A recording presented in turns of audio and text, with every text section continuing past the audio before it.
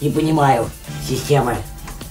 Откуда там жар взяться должен?